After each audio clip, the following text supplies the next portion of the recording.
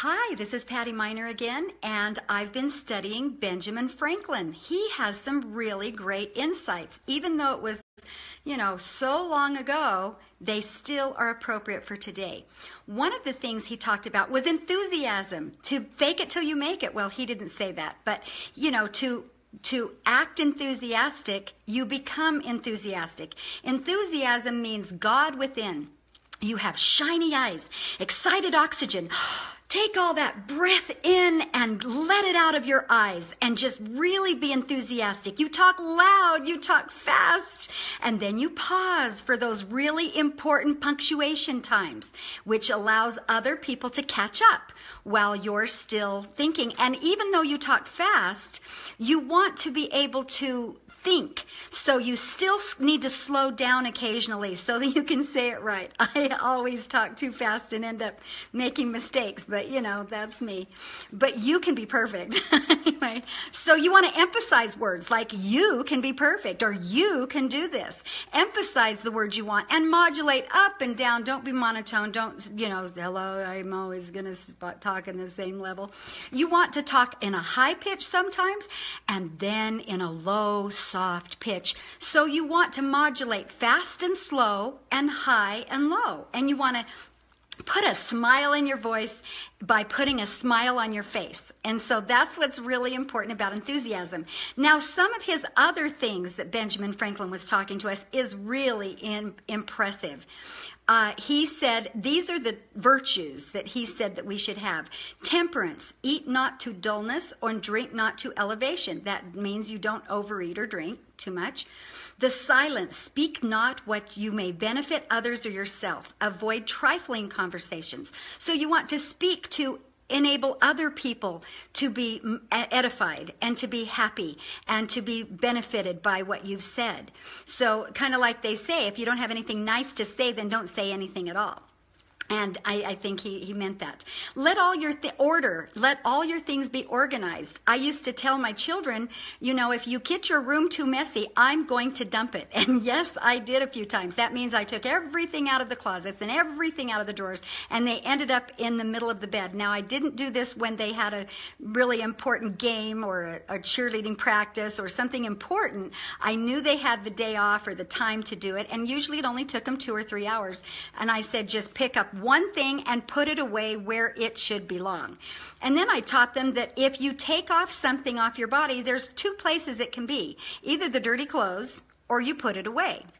And if you're always throwing it on the floor, of course it's going to be in the dirty clothes, and then you're going to have to pick it back up and take it to the dirty clothes and then wash it and fold it and put it back. Sometimes pants and some things don't need to be washed every five minutes, and it out it lets the fabric last longer. So organize your closets. You can organize your closets with white hangers and all your skirts in one area and all your uh, uh, pants and shirts in one area. So organization is very important. And Benjamin Franklin was teaching us that one of the virtues is organization. And that helps you to put everything back so that there's a place for everything and everything in its place. Then he said, resolution. Resolve to perform what you ought and perform without fail what you resolve, which means do what you say you're going to do. Just do it. Just get her done. I, I also heard another, I don't know who said this, but I also heard another statement that said, I would rather do and not promise than promise and not do. It's better for you to do what you say you're going to do and do what you resolve to do. It gives yourself a lot of um, faith and trust in your very own self. Then frugality. That's another one of Benjamin Franklin's um, uh, virtues. Make an expense, but to do good to others or yourself. That is waste nothing. So waste nothing. Do good to everything. Don't waste your time. Don't waste your money. Don't waste anything. Even for my Christmas presents for my children and grandchildren, I always say, tell me exactly what you want. I don't want to waste money on something that you're going to either give away, regift, which that's not bad because sometimes you need a gift for someone and it's nice to be able to have that to give somebody. But I don't want it to go to waste where it just sits there forever and they're embarrassed and they only want to wear that ugly sweater when you're around.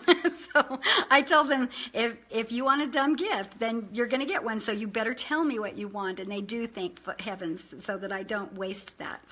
Industry, lose no time. Be always employed in something useful and cut off unnecessary actions. So waste not time. And that means also being on time is respectful of other people's time. If you have an appointment with someone, you should be on time when they say that you're going to be there. I have been guilty of being late before, and but I, in my uh, cheer in high school, they used to say five minutes early is five minutes late. You should be ten minutes early to everything, and that's what they always used to tell us. Sincerity, use no hurtful deceit. Think innocently and justly, and if you speak, speak accordingly. So think the think of others the way God thinks of them, and God loves everybody because it's their kids. He's we are all His children, and so God loves everybody. So think of everybody as you would love them, as they're your kids or they're they're someone that you love, and give them the benefit of the doubt and think good things of them. Justice Wrong none by doing injuries or omitting the benefits that are your duty. So there's sins of omission and commission. And I'm always so worried that I have the sins of commission where I've forgotten something, like I forgot somebody important or something that I should have done or said or did. And I wish so badly that I could keep on top of all of that because there are so many people I love so dearly. And I'm always praying for people and I'm always thinking, oh no, I forgot somebody. Oh, I know, I don't want to forget anybody. So uh, sins of omission and sins of commission. Moderation, avoid extremes, forbear resenting injuries so much that you think they deserve. So a happy medium. You know, don't don't grudge people either. Don't hold grudges because it only hurts you. If you tighten your jaw and you're holding a grudge on somebody, it only hurts the vessel. It doesn't hurt the person and it's not good for your health. Cleanliness, tolerate no uncleanliness in body, clothes, or habitation. So that says that's very good health uh, to just keep everything clean. And you've got to, I always tell my kids, you've got to realize that don't be touching your mouth and your face all the time because there's germs out there. If you sit in a desk in school after someone else has sat there, they could have had a cold or a flu and have touched everything all over. And, and then if you touch that and then you touch your nose, I always teach them to scratch their nose upside down because you want to keep your yourself clean so that you don't catch colds and flus and whatever germs are out there. So just keeping your surfaces clean, your doorknobs and your and your toothbrush change it out often and your sheets and pillows change often and you know things that you just keep clean. So order. There's also tranquility. Be not disturbed at trifles or accidents and common or unavoidable. So don't get ex- upset about little things. I used to hate the word ain't. And uh, so I put it ain't no big thing on something because you know it's it's important that we we don't worry about the little things it everything's just little things what's important is how who we become and how we are to other people and the relationships we have developed.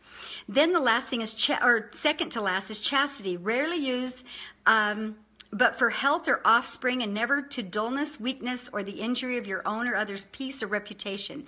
Be chaste in your thoughts and, and good with other people. Humility, imitate Jesus and Socrates. That's what Benjamin Franklin said, that we can be humble. And humble means to be teachable, to be teachable towards others and to be happy with other people. And I and realize that you can always learn something from everybody. Everybody out there has something to teach each one of us. So I hope you've learned a little bit that I've learned from Benjamin Franklin.